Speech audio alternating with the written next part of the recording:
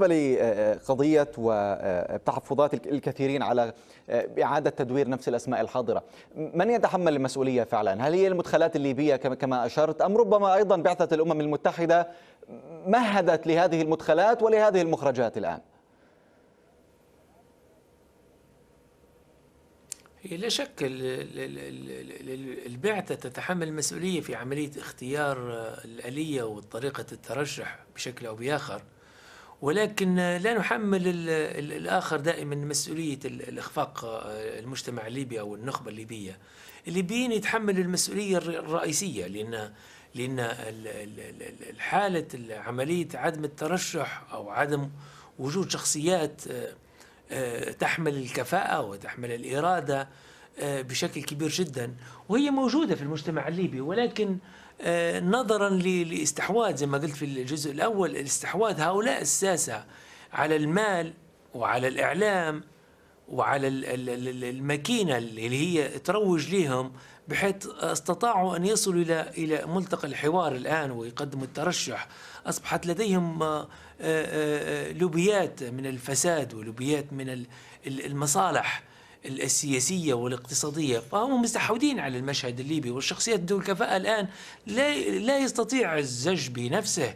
ولن يحصل على شيء إن صح التعبير حتى من داخل أعضاء الملتقى يعني حتى. نعم. هو من الاشتراطات هناك تزكية من شخصيهم لن يتحصل الأشخاص ذو الكفاءة فأعتقد مع احترامي له هناك بعض الأسماء حقيقة في, في من المترشحين ولكن محترمة ولكن لا توجد مشروع وإرادة حقيقية اللي يتحمل المسؤولية أنا, أنا أقولها البعثة تتحمل الجزء الجزء الكبير والأساسي لا شك فيه آه، عملية الفوضى اللي عشناها خلال عشر سنوات فبالتالي خلال العشر سنوات هم استحوذ مجموعة من الذين استحوذوا على السلطة طيب. على المال على ال على ال على السلاح على المنابر الإعلامية فبالتالي هم نفسهم قاعدين في العشر سنوات هم يدوروا بنفسهم بشكل أو بآخر يعني يغيب شخص يطلع شخص آخر هو طيب. يحل محل الشخص بالإشارة للفوضى وما, وما توقفت عنده آه، تقفز هنا قضية الميليشيات الذي نزل بعضها للشارع اليوم في طرابلس وعبر عن رفضه للتعاطي مع أي مخرجات للحوار السياسي في جنيف والتعاطي مع أي أجسام انتقالية آه، تنبثق عنه. هل من الواضح بقراءتك كيف بالإمكان تحصين هذه المخرجات؟ كيف بالإمكان تحصين هذه الحكومة الانتقالية التي ستمضي إلى ممارسة أعمالها؟ والتحضير وصولا للانتخابات المنتظرة.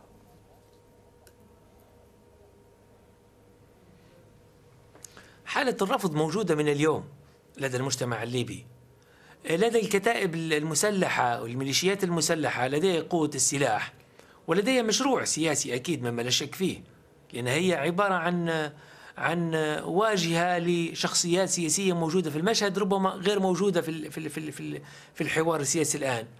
آه، مما لا شك هذه الفوضى التي بيخلقوها تعيق آه، مشروع أي حكومة أو مجلس رئاسي قادم. مثل ما حدث في الصغيرات وانبثقت حكومة الوفاق وفايز سراج من أول يوم شهدنا فيه وصول لفايز سراج والمجموعة آه، في المجلس الرئاسي معاه لطرابلس شاهدنا عملية إطلاق النار وعملية الرفض من بعض الكتائب الموجودة في طرابلس. وبالتالي لم يقدم شيء فايز السراج والمجلس الرئاسي. وأصبح الفساد هو السمة الموسوم بها آه، آه، فايز سراج ومرحلته مرحلة الوفاق. فهي نفس المرحلة حنعيشها وإذا كان هناك رفض وهناك رفض الآن مسلح موجود في الشارع الآن فأعتقد أن حتى ولو تم آه، رفضها بفرض هذه الحكومة وهذا المجلس الرئاسي بقوة المجموعة الدولية والمجلس الأمن فسوف يكون هناك مد وجزر على الساحة الليبية على الأرض الليبية. سوف يكون هناك اقتتال بين الفينة والأخرى. سوف نعيش مثل ما قلت لك في الجزئية الأولى حالة من الفوضى وحالة من عدم الاستقرار. لن تأتي جميل. بجديد. سوف يكون هناك معاناة تضاف على المعاناة الموجودة لدى الأسرة الليبية لدى المواطن الليبي. جميل.